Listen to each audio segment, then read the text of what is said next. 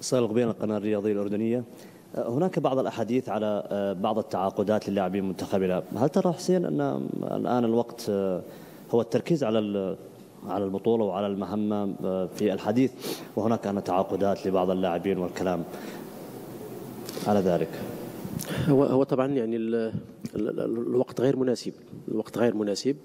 لكن آه، أنتم تتعرفوا وأنا تكلمت عليه يمكن بالمرموز يعني من قبل على وضعية مجموعة من اللاعبين في المنتخب اللي وضعية اللي هي سيئة جدا.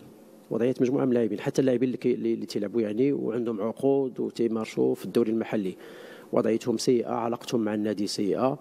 الكل في آخر المقابلات. هناك من لا يلعب هناك اللي هو احتياطي هناك اللي يتكلم على بعض الحقوق ولم يؤخذ هذا و و و و و طبعا آه، إحنا اليوم يمكن اذا تكلمتي على يزال العرب يمكن هو اللي اللي تعاقد يوم أمس مع نادي معدر لكن المشكل اللي كان هو أنه يوم أمس كان آخر أجل للتوقيع لأنه لو لو ما وقع ربما كان سيمر يمكن بواحد أربعة شهور أو خمسة شهور يعني صعبة في الحياة ديالو الكروية. ونحن نحتاج أنه يزن واللاعبين الثانيين كلهم أنهم يكونوا مرتاحين في في في المرحلة اللي هي مقبلة لأنه آه، اللاعبين هما هما الأساس ديال الفريق وليس المدرب آه، ليس بالدرجة الأولى المدرب صحيح؟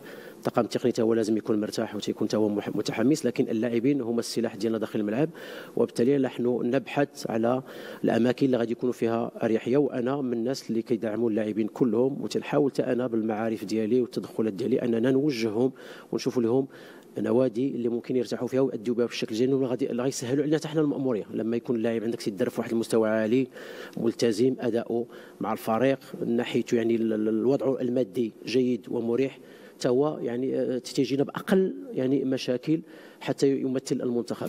Okay, thank you very much. We come to the end of this press conference. Thank شكرا you. لكم. شكرا جزيلا.